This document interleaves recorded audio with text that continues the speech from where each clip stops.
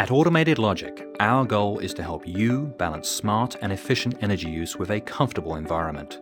To help achieve that, we've developed a faster and easier way for you to review and maintain your facility's performance.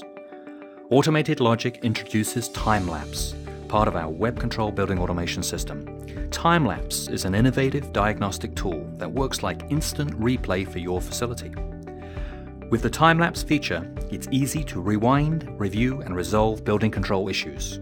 Roll back hours of historical data in just minutes, pinpoint the source of any operational problem, then make the necessary system corrections with WebCTRL.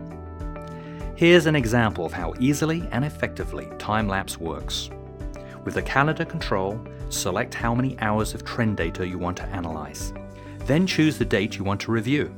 The exact time of any detected problem will be indicated on the video playbar, and its location will be shown on the colored floor plan graphic.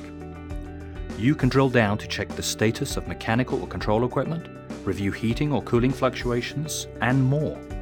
Once identified, you can correct the problem using WebCTRL's powerful system capabilities.